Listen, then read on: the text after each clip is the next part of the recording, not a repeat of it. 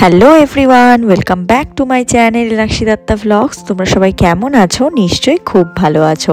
আর আজকে কিন্তু রবিবার, তো আমি সকাল সকাল ঘুম থেকে উঠে পড়েছি আর অঙ্কুশ একটা দরকারি কাজে একটু বালুরঘাটের বাইরে যাবে। তো সেই জন্য আমরা একটু সকাল সকালই আজকে উঠেছি। তো উঠে এখন ব্রেকফাস্ট করব। অঙ্কুশের স্নান হয়ে গেছে, তো ও স্নান করে যাবে। তো আমরা এখানে ব্রেকফাস্ট করছি। আমি এখানে ব্রেকফাস্ট করছি মিষ্টির দোকানের গরম গরম পুরি, তার সাথে আলুর তরকারি, তার সাথে মিষ্টি দিয়ে, আর অঙ্কুশ ব্রেকফাস্ট করছে ভাত। তো ও যেহেতু একটু বাইরে যাবে, তো ওর আসতে বিকেল হবে। ও একটা বিশেষ কাজে যাচ্ছে। তো যেহেতু ওর আসতে অনেকটা দেরি হবে তো সেই জন্য ও একটু ভাত খেয়েই যাচ্ছে। মাই বলল যে, তুমি তাহলে একটু ভাতই খাও। তো সেই জন্য ও ডাল দিয়ে, মাছ ভাজা দিয়ে সেগুলো দিয়ে ও ভাত খাচ্ছে। আর আমি এখানে এই পরোটা খাচ্ছি। এই মিষ্টির দোকানের পরোটাটা না, জানো তো, দারুণ। আজকে বাবা সকালবেলা নিয়ে এসেছে। বালুরঘাটেই একটা মিষ্টির দোকান নাকি নতুন দোকান হয়েছে। তো মিষ্টির দোকান না পরোটার দোকান আমি ঠিক বলতে পারব না। তবে যতটুকু মাঠ থেকে শুনলাম যে, একটা নতুন মিষ্টির দোকান হয়েছে মানে মিষ্টির দোকানে নতুন মানে এরকম পরোটা করছে। তো পরোটাটা দারুণ ছিল মানে ডালপুরি ছিল বেসিক্যালি এটা। আর তার সাথে যে তরকারিটা ছিল, তরকারিটাও অসাধারণ ছিল। মানে সেই চোচাওয়ালা তরকারি হয় যে আলুর চোচা না ছিল, সেই তরকারি তার মধ্যে আবার ছোট ছোট করে সোয়াবিন কেটে দিয়েছিল, তার সাথে আবার ছোলার ডালও দিয়েছিল। তো দারুণ ছিল তরকারিটা। তো তারপরে খাওয়া দাওয়া করে তারপরে অঙ্কুশ তো বেরিয়ে গেল। তো তারপরে এই যে আমি রান্নাঘরে চলে এলাম। বাবা সকালবেলা মাটন এনেছিল। তো মাটনটা আমিই রান্না করব। যেরকম প্রত্যেক দিন আমিই করি। মানে আমি থাকলে আমি রান্না করি। আর আমি জানো তো, আমি যখন শিলিগুড়িতে থাকি, আমার বাড়িতে মাটনই আনে না। যে আমি আসি, তারপরে আবার সবাই খায়। আমি বলি যে, কেন? কি হয়েছে? আমি তো ওখানে খাচ্ছি। তোমরা কেন ওখানে খাবে না? তো যাই হোক আমি যেহেতু ভালোবাসি, সেজন্য খায় না বাড়িতে। তো যাই হোক, তারপরে এই যে আমি এসেছি, এখন দু সপ্তাহ থেকে রোজই আবার মাটন আসছে। তো এই যে এখন আমি মাটনটা রান্না করছি, আর এখানে আমি হলুদ, লবণ আর টক দই দিয়ে মাটনটাকে মেখে রেখে দেব।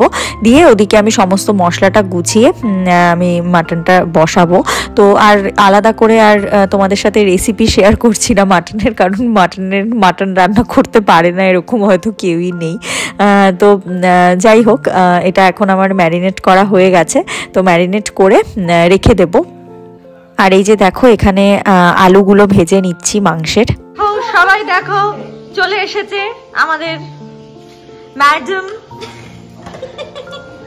যিনি আমাদের প্রত্যেক দিনের গেস্ট না তো গেস্ট না তো গুড়গুড়ি এটা ছোট্ট গুড়গুড়ি এটা আমার ছোট্ট পুটি। এইটা তুই সরাতে পারিস? কোথায় পড়ছে? কি পড়ে গেছে গুড়গুড়ি কি বলে রাখে প্যাকেট কোথায় পড়ে গেছে?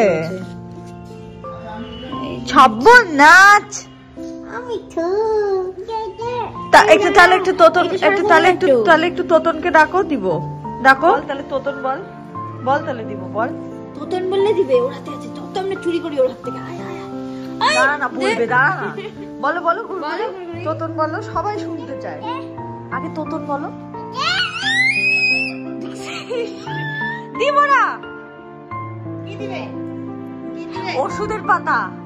大 তো এই যে মাংসটা রান্না করতে করতেই কিন্তু গুড়গুড়ি চলে এসেছিল, তাই আমি বারান্দায় গেছিলাম। তো আজকে আমার উপর খুব খেপে গেছে, জানো তো? আসলে একটা ওষুধের পাতা উনি হাতে নিয়েছিল। হ্যাঁ মায়ের একটা ওষুধের পাতা, আর ওষুধের পাতাটা এত ধার মানে হাতে লাগলেই মনে হচ্ছে কেটে যাবে। আর ওর তো নরম হাত, ওটা এমনিতেই একটু লাগলেই কেটে যাবে, তো সেই জন্য আমি লুকিয়ে ওষুধের পাতাটা নিয়ে নিয়েছি, আর আমার ওপর খুব খেপে গেছে। আমার দিকে আর তাকাচ্ছেই না, একদম বুড়ো টুরু কুচকে আমার দিকে তাকিয়ে আছে। তোমরা তো দেখলে আমাকে বকা টকাও দিল তো যাই হোক তারপরে গুড়গুড়ি উম, এখনও এখনও আছে ও ওদিকে আছে মৌলির সাথে। তো আমি সেই জন্য আবার রান্নাঘরে এলাম। আমার কিন্তু মাংস কষাও হয়ে গেছে। কষিয়ে টষিয়ে এখানে আমি জল দিয়ে দিয়েছি। আর মাংসে জানো তো আমি গরম জল ইউজ করি। কারণ গরম জলটা ইউজ করলে না মাংসটা খুব ভালো হয়। তো গরম জলটা দিয়ে একটু ফুটিয়ে ঘি গরম মশলা দিয়ে নিয়েছি। আর এবার আমি কিন্তু প্রেশারে সিটি দিয়ে দেবো। আমরা মাটনটা প্রেশারে সিটি দিয়েই খাই। অনেকে প্রেশারে সিটি দেয় না। কড়াইতেই সেদ্ধ করে, কিন্তু আমরা প্রেশারে সিটি দিয়ে নিই। কারণ প্রেশারে সিটি দিলে না একদম সুস মানে সুসিদ্ধ হয় মাংসটা, তো খেতে বেশি ভালো হয়। তো এই যে এখানে মৌলির মাংস, আমাদের মাংস একসাথে সিটি বসানো হয়েছে। আর এখানে আলুগুলোকে তুলে রেখেছি, আর তার সাথে কিছু ছোট ছোট চর্বি ছিল, তো সেগুলোকেও তুলে রেখেছি। কারণ সেগুলো দিয়ে সিটি দিতে গেলে না একদম পুরো তেল ভাসে ওপর দিয়ে। তো সেই জন্য আলাদা করে দিয়েছি। তো তারপরে একটু ছাদে এসেছিলাম। আর দেখো আজকে ওয়েদারটা কীরকম, একটু করে রোদ উঠছে, একটু করে আবার এরকম মেঘলা হয়ে যাচ্ছে। তো এখন হঠাৎ করে এরকম মেঘলা হয়ে গেছে, মনে হচ্ছে এক্ষুনি বৃষ্টি নেমে আসবে, এরকম লাগছে ওয়েদারটা তো মাসি এখানে কাপড় মেলছিল, আর আমার একটা ফোন এসেছিল। তো সেই জন্য ফোনটা নিয়ে ছাদে এসেছিলাম। তো ছাদে আসলাম, এসে ফোনে কথা বলছিলাম। তো মাসি আর এখানে কাপড় মেলছিল। এই দেখো, আমি তোমাদেরকে বললাম না, হঠাৎ হঠাৎ করে ওয়েদার চেঞ্জ হচ্ছে। আমি যখন ছাদে এলাম, তখন কীরকম মেঘলা ছিল, মনে হচ্ছিল বৃষ্টি নামবে। আর আমি থাকতে, থাকতেই আবার কি সুন্দর রোদ উঠে গেল। তো জানি না ওয়েদারে কি হয়েছে, বাবা। একবার রোদ, একবার বৃষ্টি, একবার ঠান্ডা, একবার গরম। তো চলো, এখন নিচে গিয়ে কিছু কাজ আছে। আসলে অঙ্কুশের সমস্ত জামা কাপড়গুলো ধুয়ে দেওয়া হয়েছিল কালকে, তো শুকিয়ে গেছে। তো একদিনের মধ্যে তো কাউকে দিলে সে তো ইস্ত্রি করে দেবে না। আমাদের বাড়িতে একজন ধোপা আসে, ও সপ্তাহে সপ্তাহে এসে নিয়ে যায়, নিয়ে গিয়ে ইস্ত্রি করে দিয়ে যায়। তো তাকেই দেওয়া হয়। তো সে তো আর হচ্ছে মানে একদিনের মধ্যে তো সে কোনোভাবেই এগুলো দেবে না। তো সেই জন্য আমাকে হাতেই ঘরে ইস্ত্রি করে দিতে হবে। তো সেই জন্য আমি এখন ওকে, ওর এগুলো ঘরে ইস্ত্রি করে দিচ্ছি, কারণ কালকে থেকে ওর আবার লাগবে। আর ওখানে গিয়ে তো ওকে এক সপ্তাহ পুরো অফিস করতে হবে। তো সেই জন্য আমি ভাবলাম যে বাড়িতেই এগুলো ইস্তিরি করে দিই। আর দেখো মৌলি এখানে চলে এসেছে, ও স্নানে যাচ্ছে। তো আমি এই ইস্তিরিগুলো করে তারপরেই আমি স্নান করতে যাব। তো এক্ষুনি হয়ে যাবে। আসলে অনেকক্ষণ আগেই ভেবেছিলাম যে এগুলো করে রাখব। কিন্তু তারপরে রান্নাবাড়ি করতে করতেই না, এই, এটা ওটা করতে করতেই দেরি হয়ে গেল। তো যাই হোক মা স্নানে গেছে। মা স্নান করে পুজোটা দিয়ে নেবে আর আমি তাড়াতাড়ি করে এগুলো করে নেব। কারণ খাওয়া দাওয়ার পরে না আর ভালো লাগে না এগুলো করতে জানো তো? তখন মনে হয় কি না এখন শুয়ে পড়ি। আর বিকেল হতেই অঙ্কুশ আসবে তখন আর আরোই করা হবে না এটা ওটা গল্প গুজব করতে করতেই কেটে যাবে। তো সেই জন্য ভাবছি যে কাজগুলো এখন এগিয়ে রাখাটাই ভালো। আর এমনিতেও আমি এখন স্নানে যেতে পারব না কারণ একটা বাথরুমে মৌলি স্নানে ঢুকেছে একটা বাথরুমে আমার মা ঢুকেছে। তো এমনিতেও আমি এখন যেতে পারব না। তো সেই জন্য আমি এখন এগুলো আর জানো তো স্কিলগুলো করতে গিয়ে মনে পড়ছে। যে যখন স্কুলে পড়তাম, তো তখন তো আমাদের স্কুলে তো ক্লাস এইট থেকে শাড়ি ছিল। তো ক্লাস এইট থেকে শাড়ি পরতে হতো। ক্লাস এইট নাইন টেন ছিল লাল পাড়, সাদা শাড়ি আর ইলেভেন টুয়েলভ ছিল সবুজ পাড়, সাদা শাড়ি। তো এবার আমি মানে বেশিরভাগ সবাই সিনথেটিকের শাড়ি পরতো কিন্তু আমি সেই মানে এইট থেকে টুয়েলভ অবধি আমি পুরোটাই আমি সুতির শাড়ি পরতাম মানে সুতির যে কটনের শাড়িগুলো হয় সেটা। আর ওই কটনের শাড়ি তো ধরো রোজই মার দিতে হতো, কারণ সারাদিন পরে থাকা, রোজ মার দিতে হতো। রোজ ইস্ত্রি করতে হতো। আর তখন মানে শাড়ি ইস্ত্রি করতে আমার যে কি অবস্থা হতো মানে আর তখন ধরো মানে কোথাও একটা মানে ইস্ত্রি করতে দিলেও আর প্রত্যেক দিন এটা প্রত্যেক দিন তো ওরকমভাবে দিত না। তো ওই জন্য মাঝে মাঝে মানে ইস্ত্রি করতেই হতো মানে সপ্তাহে একবার অন্তত ইস্ত্রি করতেই হতো। বাকি দিনগুলো ধোপা মাসে ইস্ত্রি করে দিল, বাকি একদিন দুদিন নিজেকে করতেই হতো। আর তখন শাড়ি ইস্ত্রি করতে গিয়ে আমার একদম পুরো নাজেহাল অবস্থা হয়ে যেত।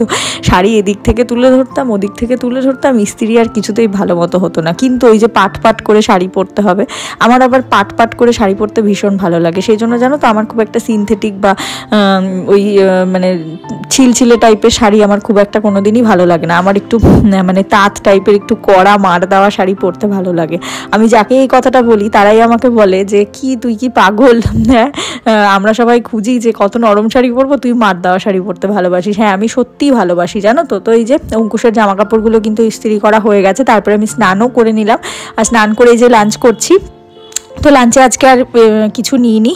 মাটন নিয়েছি, ভাত নিয়েছি, আর তার সাথে সকালবেলা বাবা লাল দই নিয়ে এসেছিল, তো সেই লাল দই নিয়েছি। আর আজকে জানো তো মাটনটা দারুণ হয়েছিল। মানে একদম ঝাল ঝাল হয়েছিল বেশ। আর ওয়েদারটা এরকম মেঘলা মেঘলা তো আর এরকম ঝাল ঝাল মাটন এরকম ওয়েদারে কিন্তু খেতে দারুণই লাগে। তো তারপরে আর তার সাথে ছিল একটু আলু ভাজা, মৌলি খেয়েছে। তো তারপরে আমি খাওয়া দাওয়া করে শুয়ে টুয়ে ছিলাম। তো তারপরে এই যে বিকেলবেলা অঙ্কুশ আসলো, অঙ্কুশ এসেও একটু ঘুমিয়ে পড়েছিল। তো ও এখন উঠল আর ও তো আজকে আবার চলে যাবে রাত্রিবেলা। তো আমি ওকে বললাম যে একটু যাওয়ার আগে একটু খেয়েই যা। ও যাওয়ার আগে একটু খেয়েই যায়। তো সেই জন্য আমি বললাম যে একটু খেয়েই যা। তো সেই জন্য আমি বললাম রান্না করেছি। দিয়ে তুই ভাতই খেয়ে যা। তো সেই জন্য ওকে দু পিস মাটন দিয়ে অল্প একটু ভাত দিয়েছি। তো অল্প করেই খাবে বলেছিল। তো এখন ও খেয়ে দিয়ে রেডি হবে। রেডি হয়ে ওর আবার রাত্রে বাস আছে। তো চলো আজকের ব্লগটা এখানেই শেষ করে দিচ্ছি। সবাই ভালো থেকো সুস্থ থেকো। তো অঙ্কুশ এক্ষুনি বেরিয়ে যাবে। তো চলো দেখা হচ্ছে পরের ভ্লগে টাটা বাই